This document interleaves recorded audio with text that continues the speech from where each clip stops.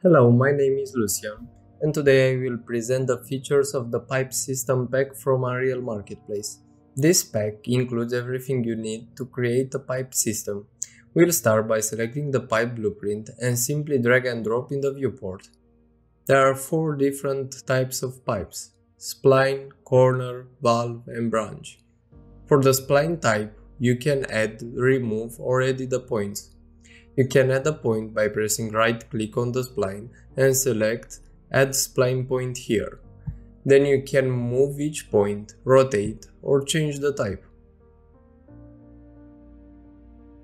You can change the target length for the meshes used for each pipe blueprint.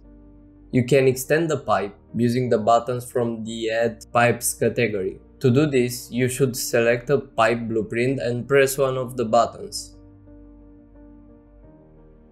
After you add a new pipe, you can edit each parameter depending on your needs. You'll see an example how to create fast a pipe system using this blueprint.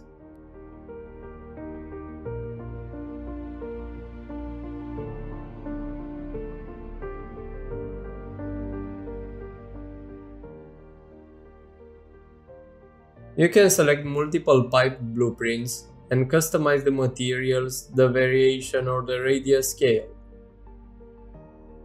For each pipe, you can add different types of support posts.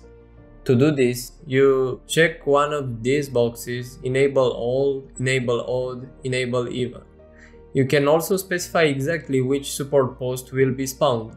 After that, you can set the height of the supports, the type or the material you can easily customize the materials with multiple adjustable parameters such as brightness, tint, dirt and so on. You can find the pack on Unreal Marketplace, link in the description. If you have any question, please let me know in the comments below. Thank you for watching.